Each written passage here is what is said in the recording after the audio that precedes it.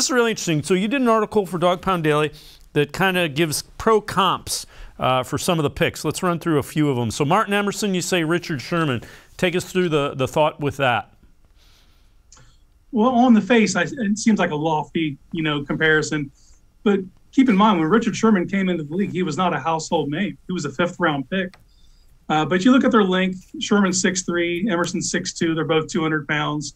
Emerson's slightly faster, ran a 4.55. Sherman ran a 4.6. But they're both zone corners.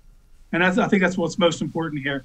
Uh, they both have some of the same deficiencies as well. Uh, when open field tackling appears, they'll go low as opposed to wrapping legs.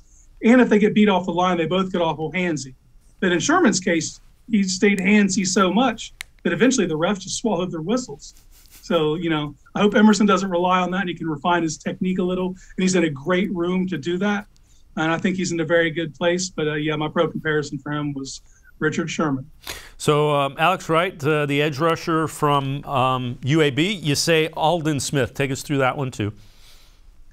Physical freaks. I mean, just look at the frames on those men. I mean, Wright is six foot five and 271 pounds. And if you look at his frame, he's going to put another five to 10 on in the league.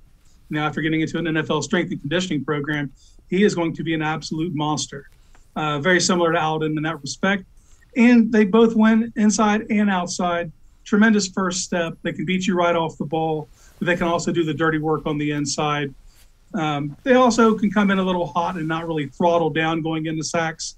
Uh, but if you think of what's on the other side with Myles, if when Wright's coming in, I mean that's just absolute chaos for a quarterback. All right, David Bell, um, wide receiver that they took, uh, you say Jarvis Landry. So fans will understand that comparison. They'll know what you're talking about. Uh, what do you see the similarities there? Uh, you start with the frame and the athleticism. The frame you're looking at Bell, he's six foot. Jarvis is 5'11. I think Bell's like 212 and Jarvis was like 205 entering the league.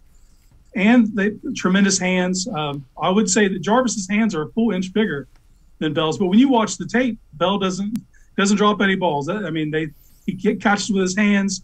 Um, they don't really win with speed. Obviously, it's a lot of technique, a lot of precise route running. And they're both excellent at using their bodies to shield, and they're both sneaky good after the catch.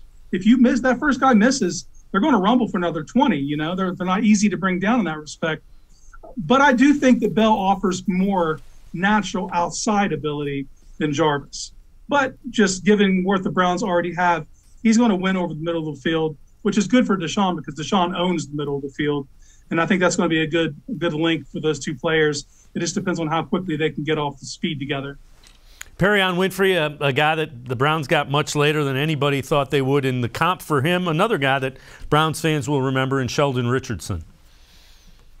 I think you start with they're both JUCO transfers. They both spent two years at a junior college, went to big programs, had tremendous success obviously Richard Richardson was taken much higher than Winfrey, but Winfrey fell.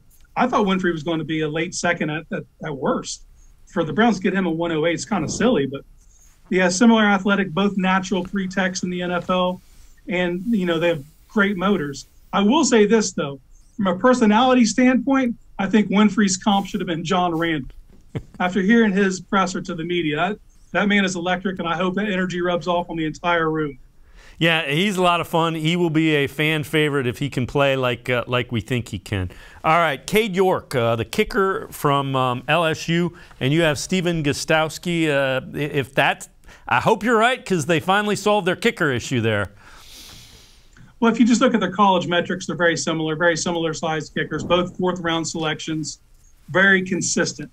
And if you look at, and they both kicked over 96% from extra points, which is that's tremendous and York's was even higher at 97.1, I believe, going 164 of 168 in college.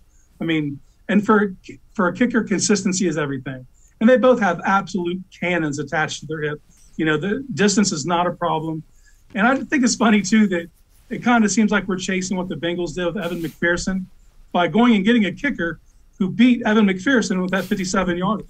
Yeah, and, and, the ironic thing is that it came out that um, reports were that the Browns had McPherson slotted in as their sixth round guy that they were looking at, and the Bengals beat him to him. That might explain why Andrew Berry is like, yeah, we're not we're not missing out on the kicker we want here, and, and they took him in the fourth. Uh,